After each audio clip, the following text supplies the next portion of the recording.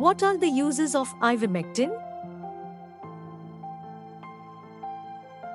Ivermectin is an antiparasitic drug and commonly used to treat the following.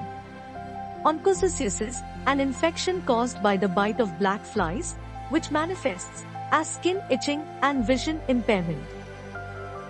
Strongyloidiasis, ivermectin is prescribed in the treatment of strongyloidiasis, which manifests through abdominal pain and diarrhea.